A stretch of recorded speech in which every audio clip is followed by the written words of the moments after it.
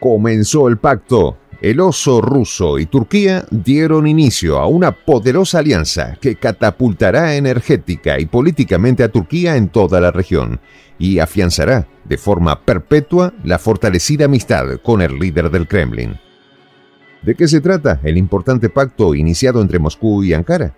¿Cómo se beneficiará el pueblo turco gracias al inicio del acuerdo estratégico? ¿Cuál será la nueva posición de Ankara en la región del Medio Oriente? Los detalles a continuación.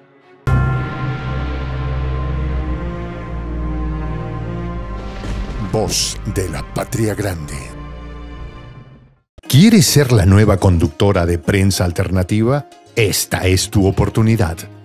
¿Compartes nuestros sueños de la patria grande? ¿Tienes un buen desempeño frente a cámaras? ¿Quieres que tu voz e imagen recorran todo el mundo? No esperes más. Comunícate al correo prensa.alternativa.casting.gmail.com Escríbenos y cuéntanos por qué te consideras la persona indicada para protagonizar este histórico momento. El líder ruso y el jefe de Estado de Turquía, Recep Tayyip Erdogan, consolidaron su alianza estratégica, política y económica inaugurando la central nuclear turca de Akuyu con la primera entrega de combustible de procedencia rusa. La central atómica de Akuyu, construida por el consorcio ruso Rosatom, contará con cuatro unidades con reactores VVER1200. Además, la planta generará alrededor de 35 mil millones de kilovatios de energía por año, con todas las medidas de seguridad vigentes. Con la nueva instalación nuclear, Ankara podrá generar energía eléctrica necesaria para afrontar mejor la alta demanda nacional y contribuir a la lucha contra el cambio climático, consolidando un avance notablemente en los últimos 19 años en el uso de energías renovables. En su intervención, el presidente turco, Recep Tayyip Erdogan, resaltó el gran paso que supone el envío de la primera carga de combustible rusa al sureste turco para que el país otomano disponga de energía nuclear generada en su territorio. Asimismo, el mandatario turco manifestó, Akuyu es la mayor inversión conjunta de Turquía y el Kremlin, por un valor de 20 mil millones de dólares, y agregó, cubrirá un 10% de nuestras necesidades de electricidad. Es una inversión estratégica. Del lado ruso, el jefe del Kremlin calificó la planta como un proyecto crucial para que Ankara y Moscú desarrollen sus relaciones económicas y resaltó que si no hubiera un presidente como Recep Tayyip Erdogan, sería difícil hablar ahora del éxito del proyecto. De igual forma, el líder ruso expresó, es uno de los mayores proyectos en la historia compartida de Turquía y Rusia, prometiendo así incrementar el comercio bilateral y estratégico, especialmente proveyendo de gas natural de tierras rusas a Turquía. De igual manera, el gobierno de Recep Tayyip Erdogan ha adelantado que tras cargarse el combustible en el primer reactor nuclear, empezará una fase de pruebas para que comience la producción atómica en el plazo más breve posible. Cabe resaltar que la amistad entre el jefe del Kremlin y el gobernante turco se ha fortalecido los últimos años, fundamentalmente en la búsqueda de intereses mutuos y la voluntad de superar obstáculos económicos y políticos que le imponen los países de Occidente. En ese aspecto, Turquía ha adoptado una fuerte posición de desacuerdo frente a la aplicación de bloqueos al oso ruso debido al conflicto bélico con Kiev. Por consiguiente, Ankara siempre prefirió colocarse en el lado imparcial de la crisis, promoviendo el diálogo para una verdadera paz.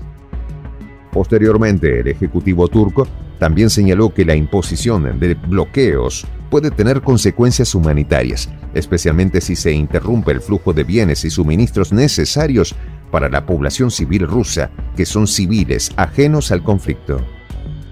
De igual modo, otro factor importante entre la amistad de Ankara y Moscú está en el apoyo geopolítico mutuo. Ambas naciones han sido capaces de respaldarse en momentos de presión internacional, especialmente en problemas regionales como la de Siria.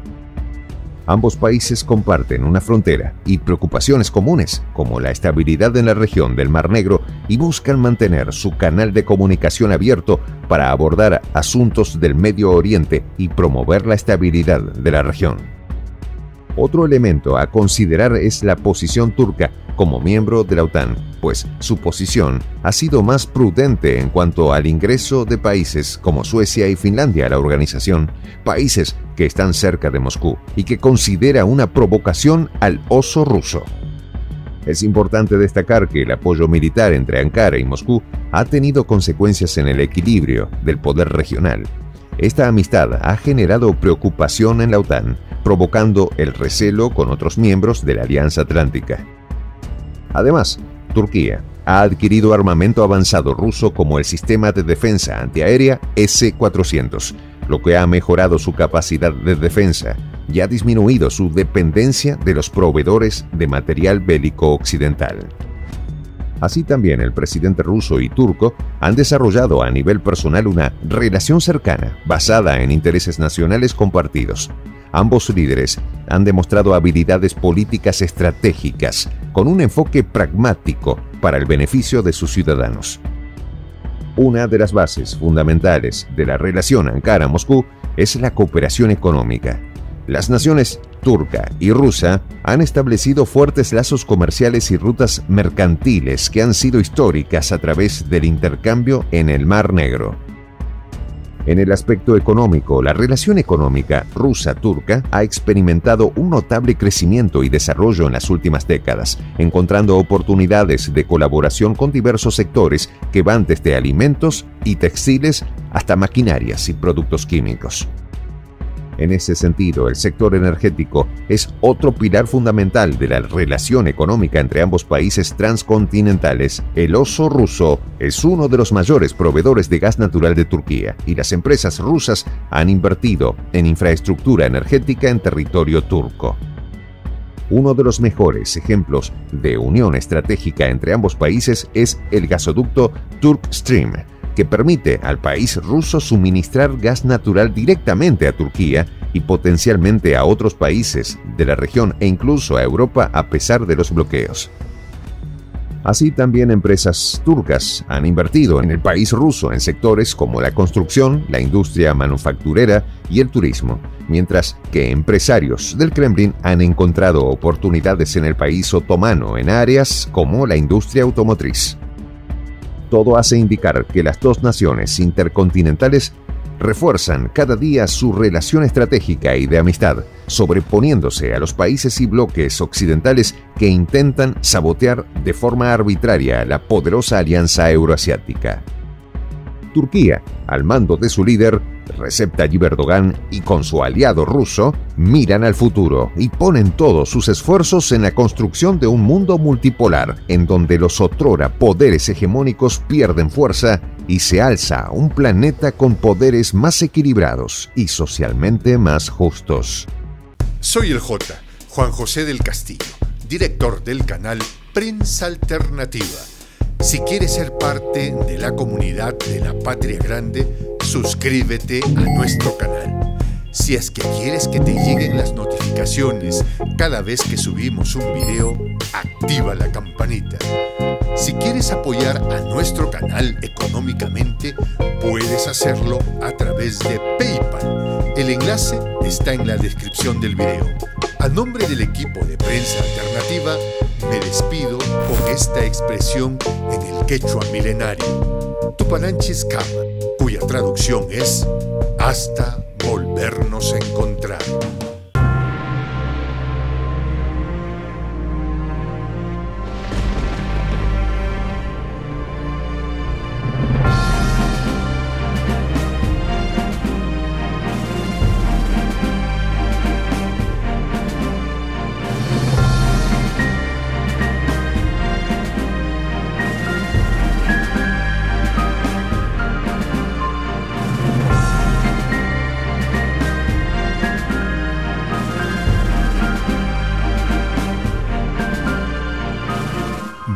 De la patria grande.